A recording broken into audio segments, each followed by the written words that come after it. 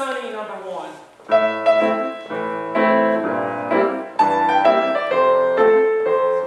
It's still good, all right, but he does like instead with the left hand. You know, it has like other voices that we want to hear, or some of us here and I want to admit. Anyway, here's Sunny on the sunny side of the street,